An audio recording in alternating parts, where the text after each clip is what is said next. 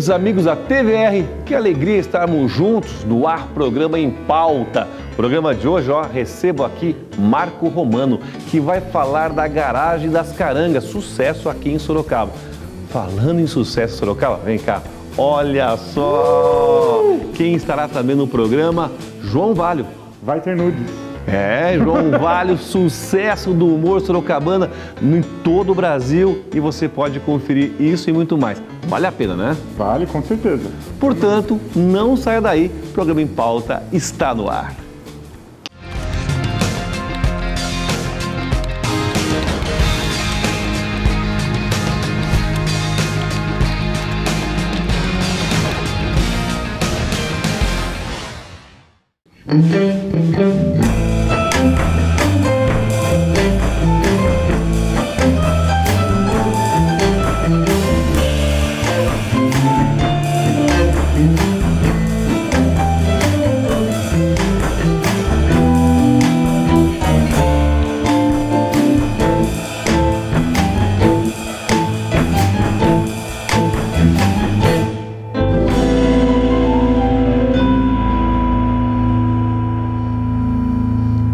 Com esse ritmo gostoso da Mad Dog Blues no ar, programa em pauta. Eu quero nesse dia dar um abraço muito carinhoso à nossa banda que sempre tem feito abertura, alegria aqui do nosso programa. Abraço, rapaziada, cada vez melhor.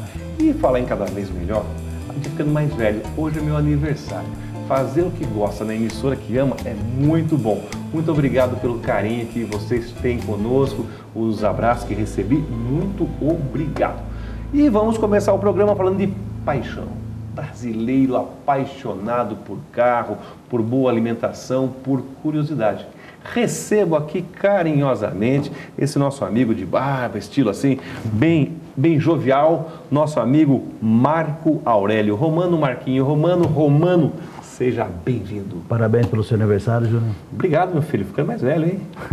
Falar em velho é o que vocês trabalham carros antigos, você é responsável aqui para dar um upgrade, poderíamos falar assim, uma palavra mais elegante aí, para a garagem, garagem das carangas. É Exatamente. Isso? Como é que funciona a garagem das carangas? Como é que surgiu isso? A garagem das carangas surgiu ah, em mais ou menos meados de maio de 2016, no encontro do Silvio Fernandes, é, com mais seis amigos. O Silvio foi idealizador. É, ele, eles foram para um, um evento em, em São Roque e decidiram que daquela turma poderia sair uma, uma reunião de amigos. Então começou com seis amigos, aí o Silvio, como tem um, o espaço garagem, ele acabou agregando esse pessoal numa festa e aí começou a, a angariar cada vez mais amigos, amigos, carros e o evento cresceu. E esses, a garagem, a garagem das carangas, para quem está nos assistindo aqui de Sorocaba e de toda a região, fica aqui em Sorocaba, ali próximo ao fórum. Exatamente, bem em frente ao fórum, na, na região da Prefeitura de Sorocaba. É só chegar lá e lá as pessoas que chegam vão encontrar carros de todos os tipos? Isso, carros antigos, né? Tá, Motos também. Quanto tempo, qual o critério, como é que é? É, para para a pessoa colocar em exposição, o, o, veículo tem que ter mais de 30 anos, uh, não paga para expor o veículo. Tá? Quem não tem um veículo antigo também pode frequentar, é muito bem-vindo.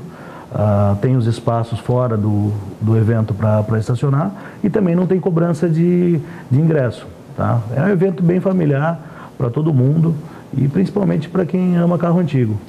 Carro e também, além de carro, pode entrar moto? Moto também. Qual o critério da moto? As motos custom são todas liberadas. Ah, ah, o restante dos estilos a gente prioriza por antigas, mais de 30 anos também. Tá? É... Agora, carro, em geral, é acima de 30 anos. Você está nessa parceria há uns sete meses. Isso. Porque você vem da produtora Balde de Tralhas. É Exatamente. Isso? E vocês incorporaram ali, trazendo também alimentação. Exato. Quem for lá vai apreciar o carro antigo, vai ter vários tipos de, de alimentação, alimentações? É, a gente trabalha com rodízio de, de food trucks, tá? então cada sábado você encontra algo diferente, então sempre tem um hambúrguer artesanal, um sanduíche de linguiça artesanal, o famoso pipoca, que é um- uma, uma embalagem de pipoca, mas tem torresmo dentro, Oh, uh, chopp artesanal, essa história do chopp parece que está agradando já bastante, rapaz. né? a moçada vai lá tomar. E o chopp é bom? muito bom. Tá, e aí, vamos lá. É, como é que surgiu essa, essa paixão, assim? É, a pessoa, tá? Telespectador aqui da TV, do programa Em Pauta, tá assistindo, tem lá o seu DKV, tá com o seu Gordini, com o seu carrinho antigo, quer ir até lá, como deve proceder? Ah, a entrada do estacionamento é aberta, tá? Ah, logo na, na portaria, Enquanto você vai falando, eu vou pedir para a produção soltar as imagens aí, já vão vendo as imagens também, acompanhando. Continua, fala um pouquinho. legal, logo na portaria vai ter uma pessoa ah, auxiliando os que têm o veículo acima de 30 anos, ah, posicionando num- numa vaga que, que esteja disponível e para as pessoas que não têm o carro antigo, ela tem a, a opção de estacionar fora do evento. Pode estacionar fora do evento, Sim. tranquilo tal. Quais as principais marcas que nós temos lá? Ah, a gente trabalha em alguns eventos com um tema em específico. Então, ah, por exemplo, Dia 4 agora teve o tema que foi teve Hot Rod. Hot Rod. O próximo já, tá- já tem mais ou menos elaborado? Ainda tem, mas é segredo. Segredo. E para que o nosso telespectador aqui da TVR, Programa em Pauta, que já está querendo ter um programinha, é sempre sábado, é isso? Isso, Sempre sábado, de 15 em 15 dias. quinzenal. Como é que ele fica sabendo dos dias que estará aberto a garagem das carangas É lá? muito fácil. ah, dá para acompanhar pela fanpage, que é a Garagem das Carangas. Tá? Tem também lá os- o contato telefônico, que a gente pode mandar mensagem, sempre incluindo o nosso banco de, de WhatsApp. E sempre que tem um evento, a gente começa a informar as pessoas. E a TVR também está sempre divulgando aqui. Vai ser o nosso. Tá. O telespectador vai perguntar, por que não é de todo, todo final de semana? Aí você me responde, vai. É que tem, tem uma certa demanda, mas a gente prefere ter alguns finais de semana livre, porque tem outros eh, eventos que nós precisamos prestigiar também em outras cidades. É O evento, o, o calendário de mais exposições de carros antigos, Sim. tudo. Então, Sorocaba, o nosso telespectador da região, tem a opção de cada 15 dias ter essa surpresa que você falou com temas. E dá para sair. E qual horário que é de funcionamento? Ah, Inicia-se às 11 da manhã e vai até às 18 horas. Qual que é essa curiosidade da placa preta aí? É, placa preta, hoje, para um, um veículo ah, adquirir essa placa, essencialmente ele tem que ter mais de 30 anos, tá? 80% de originalidade, mas algumas coisas eh, são primordiais. Por exemplo, a cor do veículo. Ah, se naquele ano fabricado, ah, ele tem que ser pintado com um pigmento que foi disponível em todas as pinturas daquele ano de fabricação. Roda, pneu, ah, interior, tá? Então isso não, não se admite outro tipo de, de, de mudança. Então é uma coisa rara mesmo. O cara tem que ter um. Sim. E como é quem que faz essa fiscalização, que inspeciona isso? Qual o critério? Tem alguns, alguns órgãos eh, que, que são como se fossem despachantes, que verificam toda a documentação, a originalidade da entrada na, nessa placa preta. Eu gostei aqui, Romano, você falando com a gente a respeito do. hum, que você observa lá gerações. Três gerações. Tá lá o pai, tá lá o filho, tá lá o neto já. Como é que conta um pouquinho mais isso aí que você vivencia? Porque o brasileiro é apaixonado por carro. É, isso a gente começou a perceber que ahm, tem várias histórias de, de pessoas que têm um carro que faz parte da família, que atravessa gerações. Ah, o próprio Silvio, o idealizador da garagem, teve um Fusca que foi de avô, pai, eh, irmão próprio dele. E a gente vê muito os- as três gerações no, no evento. O pai, o, o- avô mostrando para o neto sobre o carro, a- o som, como era a- na época, é bem legal. Então vamos lá. Quanto que paga para entrar? Nada. Nada, que bom. Então agora você tem aqui as câmeras do programa Em Pauta, TVR, para convidar a população a conhecer garagem, a nossa garagem das carangas. Legal. Eu quero convidar todos, tá, tá quinzenalmente, para comparecer na Garagem das Carangas. Lá nós temos é, música ao vivo, ah, uma variedade imensa de, de food trucks, ah, exposições com mercado de pulgas, lojas de peças, artesanatos e também temos lá, lógico, os carros antigos. Então está aqui, por sua experiência, dá para ir, dá para almoçar lá, ficar o dia, Dá ficar até as quatro horas. É um programa diferente, as pessoas vão gostar, é isso? Vão gostar muito e é um programa familiar. Parabéns, gostei muito, Romano. Com certeza você também gostou aí. Quero agradecer tua presença, Muito tua obrigado. participação, teu idealismo, alegria e força cada vez mais. Tá bom? Muito obrigado. Voltamos já com muito mais. Não sai daí.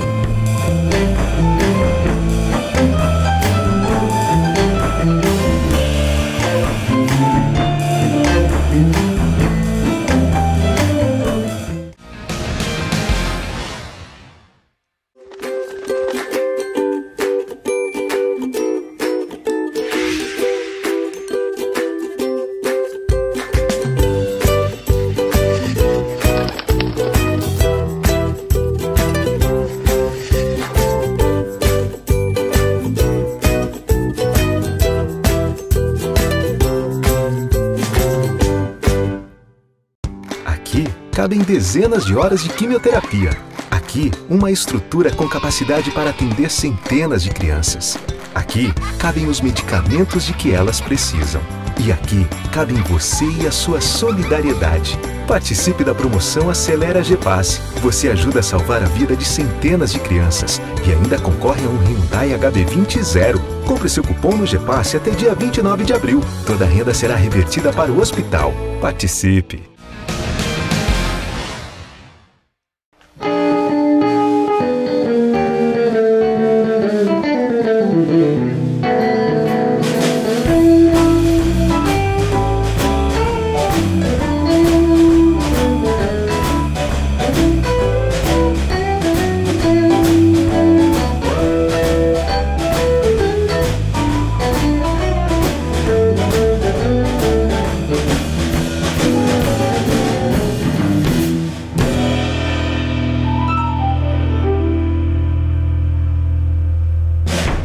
Programa em pauta aqui de volta. E como você sabe, agora é hora de darmos um giro e ver o que de melhor acontece em nossa região. Vamos para a Agenda Regional.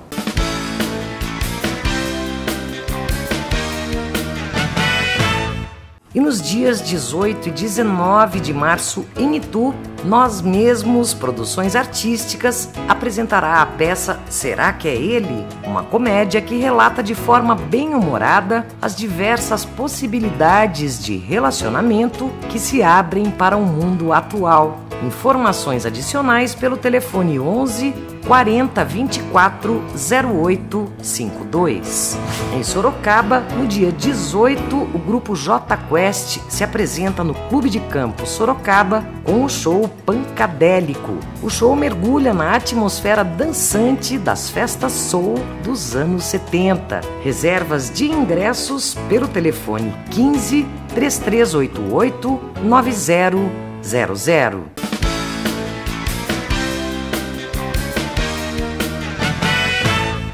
Ficou por dentro? Com certeza! A TVR presente em cada evento, divulgando nossos talentos.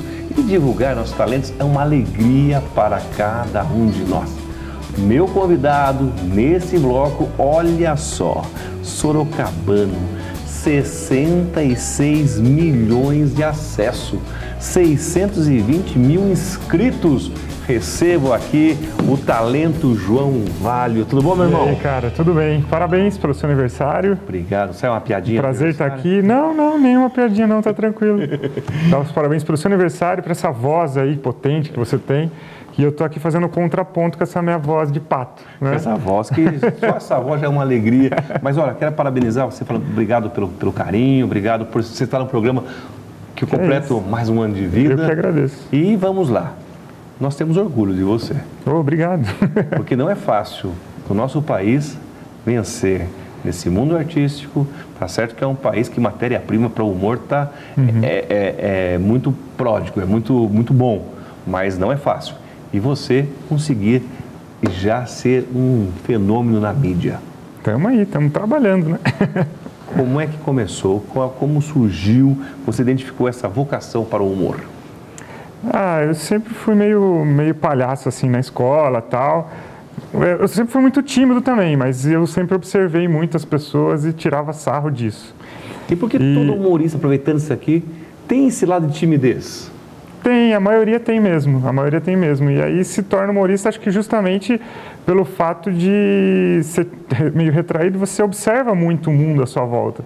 E quando você observa o mundo, você pensa muito sobre ele e acaba fazendo piada sobre ele, entendeu? Daí você começou na escola, É, aí eu sempre trabalhei, eu, eu sou ator, né? Sempre trabalhei com teatro e tal. E a gente, a gente tinha uma trupe de palhaço, que a gente visitava o hospital e fazia umas peças e tal. E aí um belo dia a gente fez um curso de stand-up comedy, um workshop para entender o que, que era essa, essa, essa arte do stand-up comedy. E a gente gostou bastante, eu, Osvaldo, o Oswaldo Barros e o Fernando Strombeck. E aí a gente montou o grupo Comédia Instantânea e começamos a fazer show por aí. aqui na TVR, bombou, maior sucesso na Sarjeta, é isso? Na sarjeta. Daí, há mais ou menos uns quatro anos, três anos, a gente montou um canal no YouTube, o Na Sarjeta, e a gente faz umas pegadinhas, uma coisa. para testar a reação das pessoas mesmo na, na, na rua, assim. Então, foi sucesso, está sendo.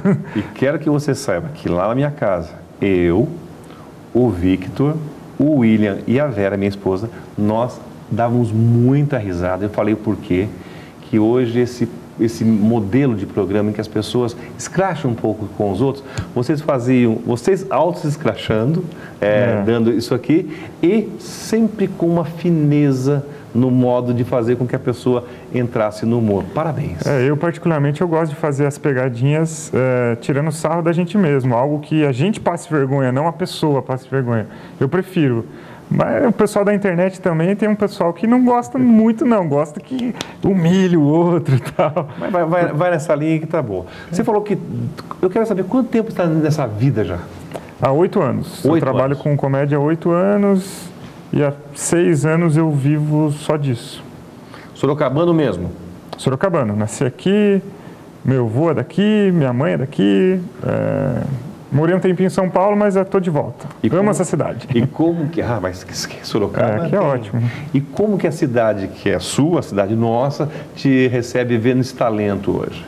Ah, cara, eu me sinto muito bem aqui. Como eu te falei, eu morei em São Paulo e quando eu voltei para cá, eu, eu senti assim eh, muito bem recebido assim de volta. Todo mundo eh, vai aos shows, eu consigo fechar parcerias, a galera apoia, a galera torce por mim. Eu acho muito bom mesmo morar em Sorocaba, ser daqui e conviver com as pessoas daqui. Me ajuda agora para o telespectador que às vezes talvez não acompanhe tanto essa carreira desse jovem aqui. Você já fez responsável por roteirista do Mundo Canibal. Mundo Canibal TV, quando tinha o programa lá no Multishow. Mundo Canibal é um site de entretenimento que explodiu na internet há muito tempo, até hoje explodido, mas teve um programa na Multishow, que daí quando eles fizeram a adaptação para TV, eu fui roteirista. No Danilo Gentili, no De Noite, Fiz algumas participações lá, lá no Danilo. na hora que tu fazia. É, Danilo, sou fã dele, né? É, eu admiro muito o trabalho dele e ele que, que fez com que a comédia stand-up no Brasil fosse popularizada. E ele é um dos divulgadores, ele tem a casa dele lá em São Paulo, Sim, né? ele tem o Comedians Club, que eu faço participações às vezes lá também. Que é muito bom. É muito bom, bem é recomendável. super estruturado para nós comediantes é melhor o melhor lugar para fazer o show é lá. Só quero aproveitar rapidinho aqui, aí vamos então para um VT. Vamos ver um VT aí do nosso querido João Valho. Eu estou fazendo pilates. Sou muito bichão, mano. E é muito engraçado, cara, fazer pilates, porque assim, você pensa que o bagulho é, ah, é só se alongar. é se- Não, o bagulho é foda, mano, o bagulho cansa, cansa. E tem umas poses, quem já fez pilates aqui? Quem já fez pilates? Deixa eu ver. Até lá. Algum, você fez pilates, tá aqui na... Como é seu nome? Milena, não é foda o negócio? Dói, né? Dói. Dói. A dignidade. Mas é um negócio. E tem as posições do Pilates, né? Você tá ligado? Tem várias posições. A primeira coisa que a professora me ensinou é que eu tinha que fazer, eu tinha que tem uma posição da mão. Todo exercício que eu vou fazer tem que a mão, a mão tem que ficar assim, ó. A mão tem que ficar assim, ó. Tudo que eu for fazer, a mão assim. Que diz que é a posição do diamante. Aí beleza. Aí tem, tem umas posições que você tem que fazer. Por exemplo, tem uma lá que é assim, ó. É, chama colhendo flores. Você faz a posição do diamante e abaixa. E vai esticando. É tipo colhendo flores, entendeu? Colhendo flores. Eu tô lá colhendo flores, eu tenho medo de alguém quiser querer plantar uma mandioca aqui atrás. É foda, é foda. Seria super gostoso, dá, vale a pena conferir. Mas aí paramos no Danilo Gentili, que você é fã, também você teve a oportunidade de estar com o Jô Soares. Sim, eu gravei Humor na Caneca, não dei entrevista lá, mas eu gravei Humor na Caneca, que tinha esse quadro aí. E também, vamos lá na Praça é Nossa. Praça é Nossa. Um ambiente super agradável lá, um pessoal, gente fina pra caramba lá. É mais do que você esperava? Ainda é o começo? Como que é para você que começou lá brincando? Na minha carreira? É. Eu acho que é super começo ainda, super não tenho começo. pressa, não. O Chico Anísio falava no, no, na biografia dele que é, um verdadeiro humorista ele precisa pelo menos oito anos de, de experiência para se tornar um humorista. Então eu estou me tornando ainda agora um bom humorista, acredito eu. Eu não tenho pressa, não. Eu vou fazer isso até meus 80, 90 anos. Vamos lá, você falou da sua voz no começo. Minha voz, essa voz aqui que. Ó, eu sou feio, narigudo, mas minha voz compensa tudo isso, né? hein? E você utiliza tudo isso no, no stand-up? Sim, eu faço, faço comédia, faço piadas com a minha voz, gosto de, de falar bastante relacionamento. Tem um quadro que a gente estava comentando lá, aqui em off, que é o Tinder ao vivo, que eu chamo é, é, três pessoas solteiras da plateia e faço uma brincadeira com eles. Tá lá no meu YouTube. Vale a pena conferir. E agora, a minha diretora aqui é fã do quadro, do clone que você pega os famosos, fotos dos famosos ah, é. e fez é clipe agora, é isso? Refaz aí. Você sabe que, é, assim, é, para quem não viu, entra na minha, na minha página do Facebook, tá lá. Eu pego fotos de famosas internacionais, Lady Gaga, Beyoncé, e eu faço a reprodução da foto. Eu me visto de mulher e faço a foto. Quando eu estou fazendo, eu me divirto, a minha namorada me ajuda a fazer, me divirto muito, acho legal. E quando alguém fala disso, eu fico com um pouco de vergonha, como agora. Eu fico meio tímido, porque realmente é, chega a ser um pouco ridículo, mas é engraçado, tá? Acesse lá no meu Facebook. E o que, que a tua namorada, a tua família acha do seu stand-up, das suas participações em programas? Ah, eles me apoiam bastante, eles me apoiam. Qual o momento de maior emoção? Além do riso, teve algum momento de emoção na sua vida? De emoção, emoção? É. é foi quando eu, porque meu pai está com um problema de saúde, ele está com câncer de pulmão. E aí a gente fez um show para arrecadar uma, um, um, dinheiro lá para as viagens para São Paulo. Uhum. E, cara, lotou o show, eu revi muita gente, amigos de infância que eu não tinha visto, e todo mundo aderiu à campanha. E a gente fez um show, meu pai foi, é, a gente, eu, todos os humoristas de Sorocaba fizeram show, participaram, foi muita, foi muita emoção para mim nesse esse, dia. Esse mundo do humor é um mundo muito unido, né? É, é unido, é unido em certas partes, sim. Às vezes não, muito. Mas, Mas é, como, como não tem tantos humoristas ainda, né, no Brasil, não tem tanto, vamos dizer, comediante do que tem de, de cantor, por exemplo. Uhum. É um mercado mais restrito. Então a gente se ajuda muito, a gente conversa, a gente tem grupo do WhatsApp que a gente fecha show, troca show, é, é bem unido, sim. Eu falei no comecinho, o Brasil é um país propício para piada pronta, né? Sim, tem muita coisa que dá para tirar sarra. O político falou assim, não, eu sou honesto, já é piada. Né? Já é piada, com certeza. Já é piada. Então, futebol é piada. Futebol é piada. Eu não costumo fazer tanta piada com futebol porque eu não acompanho muito futebol. Faz um tempo que eu não acompanho. Então, tem assuntos... Que, aliás, dá para fazer piada com tudo, eu acredito nisso. Com qualquer coisa para fazer piada. Só que tem assuntos que me interessam mais, outros me interessam menos. Quem te inspirou?